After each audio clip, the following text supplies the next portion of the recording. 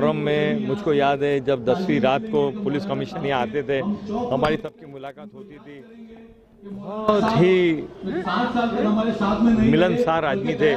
जैसा कि कहा गया, यहाँ पर कि एक छोटे से छोटा बच्चा है, बड़ा बुज़ुर्ग, उनके पास जाता था, उनके लिए एक होता था। और बहुत ही मोहब्बत वाले, मोहब्बत पसंद आदमी थे। आप सुना यहाँ पर कि 102 बुखार भी रहता था, फिर भी वो वायस करते थे, लोगों से मिलते थे। बहुत ही अखलाक से भरे हुए इंसान थे वो। कि मौलाना साहब के बारे में जितनी बात करेंगे उतनी कम है। लेकिन बस किस तरह मुंबई के अंदर काफ़ी जगह है आज उनके नाम का एक चौक नहीं बिल्कुल जो काम हमको उनकी याद में करना है, हम सब काम वो करेंगे। इनोवेशन होना वो भी एक बहुत बड़ी बात है। और देखिए मैं तो सिर्फ़ शुक्रिया के अलावा और कुछ नहीं मैं शुक्रिया अदा कर रहा हूँ। मैं भी मैंने स्टेज के बाद भी शुक्रिया अदा किया। जनाब अमीन पटेल साहब जनाब जावेद मिर्ज़ा साहब जनाब सफदर इसकरम अली साहब का तहे दिल से शुक्रिया अदा करता हूँ।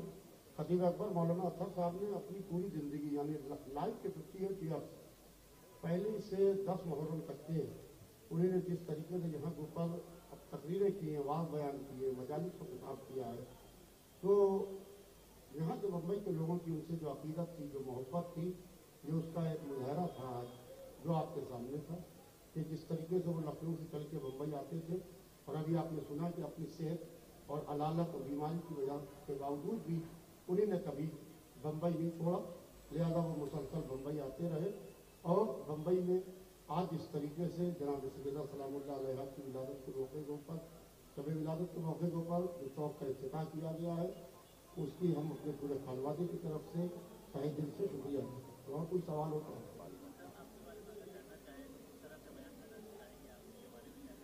अदर साहब के बारे में अगर से जानना चाहें तो अदर साहब को देखने के लिए यूट्यूब के ऊपर आप अदर साहब को सर्च कर सकते हैं गूगल पर सर्च कर सकते हैं। उनकी तमाम तकारीर हैं और असद साहब की अभी एक छोटी सी आपने देखा डॉक्यूमेंट्री दिखाई गई।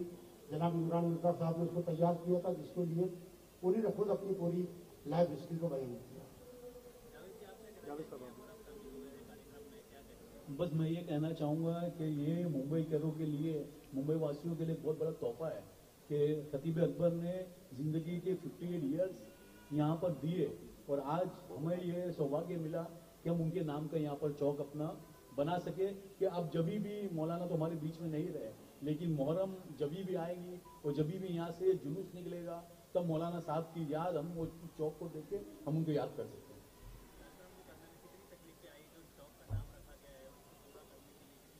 देखिए, तकलीफें तो जो आती है, वो हर एक काम में आती है लेकिन ये खतीब अकबर का, वो खतीब अकबर के ऊपर अहले बैत अतार का जो करम था कि बहुत एक मखसूस लिमिटेड वक्त के अंदर, ये चार महीने के अंदर ये काम को पूरा अंजाम दिया गया और आज इतने मुबारक दिन के मौके पर आज इसको इनोग्रेशन किया गया।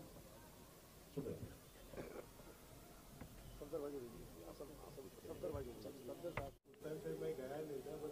मैं में गया था, इनकी ना चेलू में मैं गया था।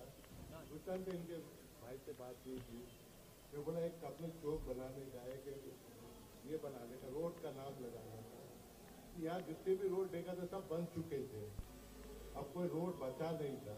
ये खाली एक चौक मेरे को काम में मिला। है जावेद भाई ने आते सैयदा फातिमा जहरा की शहादत की रात की बात है। उस दिन मैंने जावेद भाई से बात किया। कि अभी विलादत बहुत जल्दी आ रहे हैं, अपने को साहब का काम चौक बनाना है। शहादत के दिन की बात है और ये विलादत की रात को मेरे को ओपनिंग करना है किसी भी बात है ये तो बोलते चार महीना में मैं तो समझ ढाई ढाई महीने के अंदर हुआ। ये ढाई महीने में हुआ।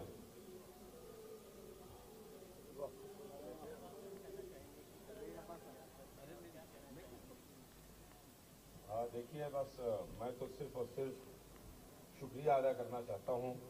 मैं शुक्रिया अदा करूँगा। हमारे अमीन पटेल साहब का शुक्रिया अदा करूँगा सफदर भाई करमाली का शुक्रिया अदा करूँगा, जनाब जावेद जुनेजा साहब का, इन लोगों का कि जिसकी मेहनतों से ये काम हुआ। और उसके अलावा, जो मैंने अभी अपनी तकरीर में कहा कि ये बम्बई वालों की मोहब्बत है, कि जो असर साहब को यहाँ पर खींच के लाती है।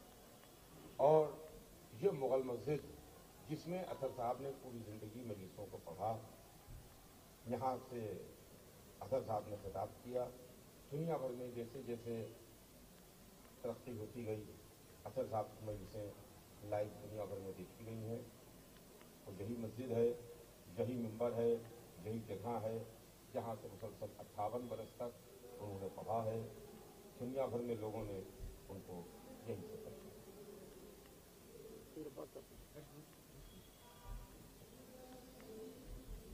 मैं मेरा नाम जहीर अब्बास है। सबके शुक्रिया के साथ साथ आप तमाम हजरात का हम सब की तरफ़ से शुक्रिया, जिसके ज़रिए से हमारी आवाज़ दुनिया के कोने कोने में पहुँची है। अल्लाह आपको सलामत रखे। और आपकी तोफीकात में मजीद इजाफा करें। यह आपने दीन का काम किया है इंशाअल्लाह बहुत शुक्रिया जी